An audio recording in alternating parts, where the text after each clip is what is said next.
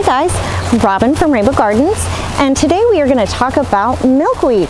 Now is the time to plant that milkweed.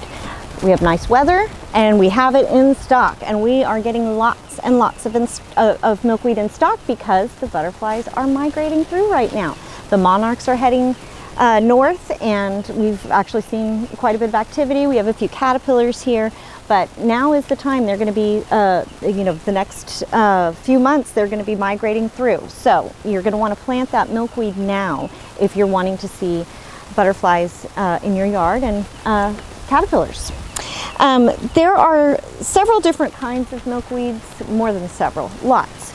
Um, native to Texas, there are um, several different kinds, and unfortunately, you don't find those a lot in uh, commercial plant nurseries because they are harder to grow. They take a little bit longer to germinate. Sometimes you have to, they need to overwinter in the ground, all these different things. Um, and then they're just very sensitive to water and sun and things like that. Um, so we do encourage you to try to grow some by seed. We do sell very limited quantities. We have one person that grows it for us. Um, so we do have some, this is a zizotes milkweed right here absolutely gorgeous. This is one of our natives. But as you can see, this is what a native will produce, and this is what the tropical milkweed will produce. So we always recommend that everybody get both. That way, you know, if you're very into the natives, you've got your natives, then you also have food for your caterpillars because your caterpillars are going to need that food. And uh, this honestly will not last very long unless you have like a huge, huge amount of it. And if you do, let me know where you are because I want some. so, um, one reason some people um, do not care for tropical is because it doesn't usually die back in the winter. Um, and with that being said, if it has a lot of traffic, there can be something called OE spores on there. And OE is basically a disease that butterflies can get. Um, it can cause um, harm or death, illness, um, and sometimes it can be so severe it will kill them. But it does spread very easily. And so the concern with the tropical milkweed is that since it doesn't die back, it doesn't die back like our natives, um, that it'll just hold on to that uh, spore. So um, the way to fix that is cut it down twice a year. It is very hardy. It's going to come back and most of the time more beautiful um, than ever. So usually in June I'll cut mine down, just right down to the ground, and then um, I'll do that again in November when the monarchs are migrating back to Mexico. Now, um, the reason we want to do that is because, for instance, last winter it was pretty warm there for a while in December. I had butterflies everywhere, and they are hanging around for the food.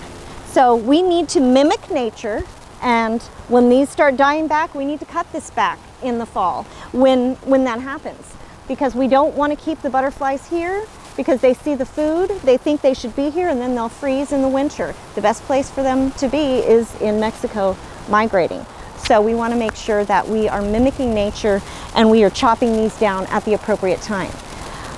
One problem I ran into is I had caterpillars still on my milkweed. I was like, oh my gosh, what am I going to do? And I just kept letting it go, and it, I just kept getting more and more eggs and more and more eggs. And I was like, oh my gosh.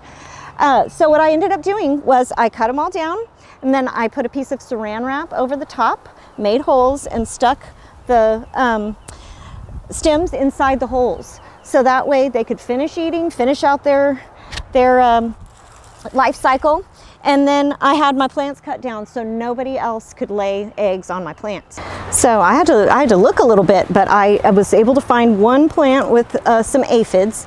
Um, and aphids are little um, bugs, yellow bugs, that like to suck uh, the milkweed sap out of the plant. Now it can make your plant weak, uh, but it usually rebounds, and they kind of come in cycles. Um, and you usually you know you'll, you'll see a bunch all of a sudden you know, one or two and then it'll turn into a bunch because they're asexual they just keep reproducing and reproducing um, and then the ladybugs and the lacewings will come in and their larvae and they'll eat all of those aphids up So um, I have had people come in and say, you know, my plant, there's aphids everywhere, it's ruined.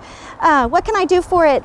Uh, I know that some people say, you know, as a last reserve, last resort, you can use neem or horticultural oil. But I have recently read some studies that were saying that they have a growth inhibitor in them. And even though you've used it, you've washed it off, um, you know, it's been a week or whatever, and your caterpillars eat that, that it could actually cause them to, they appear fine, but when they go to get into their chrysalis, it just totally stunts that and they can only partially um, form their chrysalis and then they die. And that's just really sad. And of course, that's not what we want. So we want to avoid chemicals at all costs, chemical pesticides and herbicides. Um, and fertilizers, you know, we definitely recommend, you know, organics um, when you're dealing with um, uh, insects that you're trying to keep. We sell ladybugs and lacewings here at the store. We also sell praying mantis, but if you are a pollinator gardener, you may not want to get the praying mantis because they also prey on caterpillars and butterflies. Um, they kill a bunch of bad bugs too, but I usually don't purchase those. If they're in my yard, I'll just kind of leave them be. Um, but I do go out and purchase ladybugs and lacewings from time to time when it seems like I have a huge outbreak of aphids. Um, because they will they they will clean them up it may take a week or so you have to let them go in the evenings after the sun's gone down um, but uh, they will clean those plants up. Um, the uh, ladybugs and their larvae. Their larvae actually eat a little bit more than they do, and they look a little scary. It doesn't even actually look like a ladybug, some of the larvae, but um, it they they are just chomping machines. Um, and then as far as the lacewings go, they are excellent. They uh, their eggs can overwinter. You might find them sometimes. Um, they uh, lay eggs and they have like little um, it's almost like little hairs coming down and then the legs are the the eggs are at the end.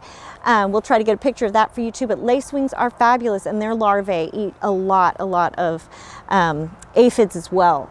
Um, and then they also help with spider mites. So um, we definitely recommend that um, you use natural natural methods.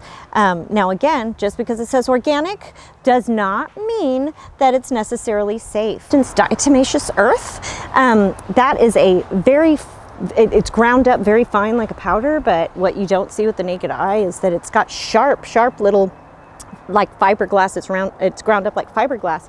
So the way that that works is as soon as the, you know, caterpillar goes and crawls over it, it cuts it open.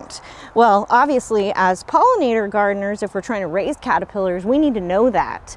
Um, and you think, oh, this is natural, I'm gonna use it, but you don't know how. Um, it, how it affects the caterpillar. So not everything that says organic or natural can be used. Just wanted to make sure that everyone realizes that. You're, when you plant your milkweed, you're also going to want to have some nectar plants. Uh, and those are the, the plants with blooms that attract the adult butterflies.